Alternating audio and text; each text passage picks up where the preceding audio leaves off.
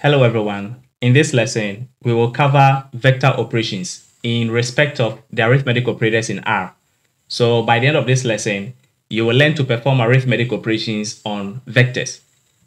In one of our previous lessons, we learned about the arithmetic operators and their associated symbols for performing calculations in R, as is shown on the screen.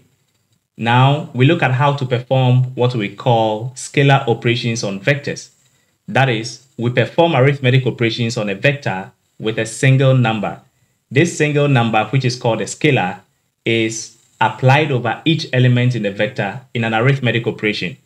For example, we have a scalar 5, which is added to a vector with four items or elements. The result of this calculation is displayed below this operation. This is what actually happened. The scalar 5 gets added to every single element in this vector. And the same is true for all other arithmetic operators. Now let us go to R and demonstrate how we can perform scalar operations on vectors. Now, in R, we proceed to create a vector, and so I would like to name this object vec. We proceed to create a vector of some number of elements, and this happens to be a numeric vector because we are just simply going to include only numbers. So let's have a vector with five elements. And what we are going to do at this point is we are going to perform scalar operations. So that means we need to use a single number and perform arithmetic operations on this particular vector. So for example, if we want to deal with an addition operation, then we can go ahead and say 10 plus, then we just simply give the name of that vector and when we go ahead and add this, that would mean that the number 10 is added to every single element that is found in this vector. And so this happens to be the result after executing this code. We can also go ahead and do 4 minus vec, and in which case, if you go ahead and execute this, you also end up getting the result. This means that since the 4 comes before this vector in this subtraction operation, every single number in this particular vector is subtracted from the number 4 and the corresponding result is also a new vector which is being displayed in the R console after execution. So we can also go ahead and do something like 5 multiplied by vec. And so when you execute this, you also end up getting the number 5 or the scalar 5 multiplied by every single element in this particular vector. We can also go ahead and bring, for example, the vector itself divided by the number 3. And when you execute, that means every single number in this vector gets divided by the scalar 3. We can also go ahead and raise every single number in this vector to the power of 2 and you will get the result after execution.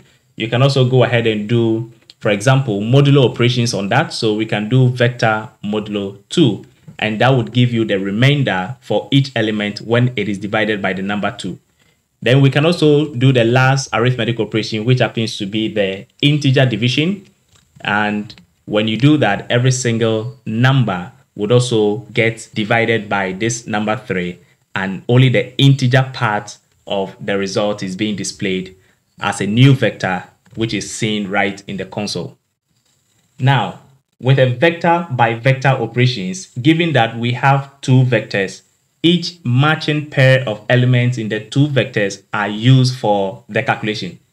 So for example, we have an addition of two vectors and the corresponding result is also displayed beneath it.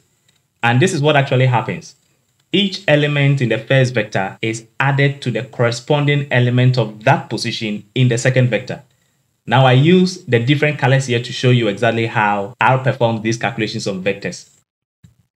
This is another example where in this calculation, the first vector has two items and the second vector has four items. The elements in the shorter vector are recycled to match the pairs of elements in the second vector. So essentially, the first vector which has two elements, 9 and 6, would be repeated to yield the corresponding length that matches the same number of elements that is found in the second vector and the calculation is being performed and the result will be displayed. In a similar fashion, we are adding two vectors. The first vector has three elements and the second vector has four elements and the corresponding output after the calculation is displayed beneath it. And this is what really happens. the three numbers in the first vector or the shorter vector are distributed over every single element in the second vector in their relative positions. So 9 gets matched to the number 3 in the second vector, 6 gets matched to 10, 1 gets matched to 7.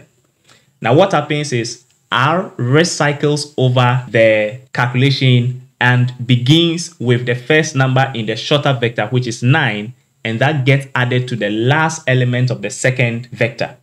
Let's go to R and demonstrate exactly what we are talking about here.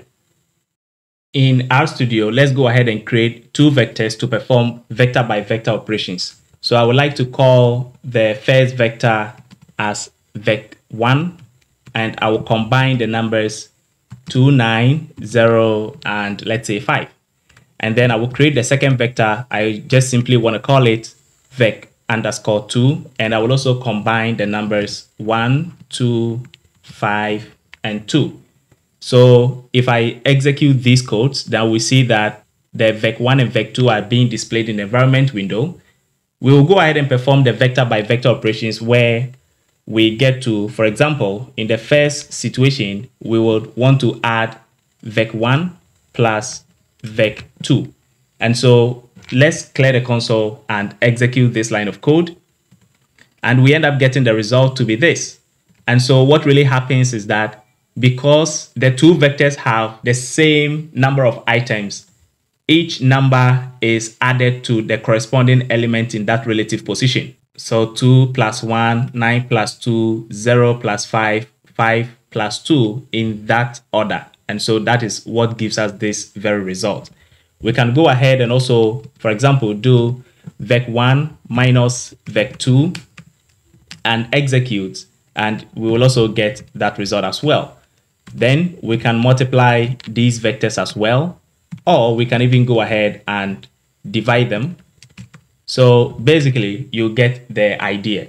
Now, let us go ahead and create another set of vectors. This time, I would like to call this object, let's say, vec length 4 because I am going to create a vector with four items in it. So I would go ahead and have numbers like 5, 9, 1, 3.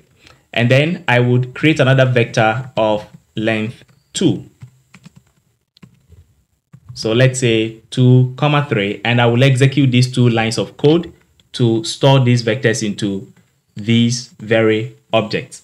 As mentioned earlier, when you perform an operation between two vectors of unequal lengths, the elements of the shorter vector are recycled to match the length of the longer vector. So essentially, if we go ahead and do something like vec length 2 plus vec length 4, and you go ahead and execute this line of code, you end up getting the result to be this. What really happens is that R will recycle the element in the shorter vector to match the number of elements in the longer vector. So it becomes something like this, 2 and 3, which is being recycled or repeated. And the result is given to you. So that also applies to other operations that you can perform. Like for example, you can go ahead and do minus, and that will also give you the same result where the elements in the shorter vector are recycled. It is very important to note at this point that recycling only works when the length of the longer vector is a multiple of the length of the shorter vector. In this case, we see that we have two items in vec length 2 and we have four items in vec length 4. So this longer vector is a multiple of the number of elements that we find in the shorter vector. And that is how the recycling actually works. So if we go ahead and create another vector, let's call it vec length 4 because I'm going to create a vector with four elements. So let's give a new set of numbers 8, 1, 3, 1. You know that if I go ahead and execute this line of code, already we had made an assignment of 5913 as a vector into this same variable or object. By running this line of code, we go ahead and overwrite the existing assignment and replace what is in this particular variable or vector or object with this particular new vector. So if I go ahead and execute this, and for example, if I decide to print what items are stored in, into this object, which is very obvious, we have 8131. And the original assignment will have been overwritten. So I would go ahead and create another vector. Let's call it vec length 3. And I would create a vector with three numbers in there. So let's give some numbers like 2, 0, 4 and execute this line of code. What is going to happen is we learn that there is some sort of recycling that really happens from the elements of the shorter vector to match the number of elements in the longer vector. But the point is that when the number of elements in the shorter vector and that of the longer vector are not exact multiples of each other, in which case the number 4, which is the number of items in the first vector, which is 4, is not a multiple of the number of items in the shorter vector, which is 3. When you perform calculation with these two vectors, so like for example, if I go ahead and write vec length 3 plus vec length 4, R will still go ahead to do the recycling with what it sees in the operation, but will also give a warning about the discrepancy in the length of the two vectors. So if I execute this line of code, you would see that the number 2 gets added to the number 8 from the shorter vector to the longer vector. The number 0 in the shorter vector gets added to the number 1 in the longer vector. 4 gets added to 3 and there is not a fourth number in the shorter vector to match this number 1. So it recycles over and starts with a number of 2. So this number 2 will now get added to this 1 here that would give you the last result to be 3. So essentially what happens is that if it starts all over again, if it recycles and starts with the number 2, R was expecting the remaining two numbers 0, 4 to have exact multiples in this particular vector, which it did not find because this number one happens to be the last item in the longer vector. So R essentially displays that warning message to tell you that when you are adding the two vectors, the longer object length is not a multiple of shorter object length. That would be the same for every other arithmetic operation that you do with these two vectors of unequal length.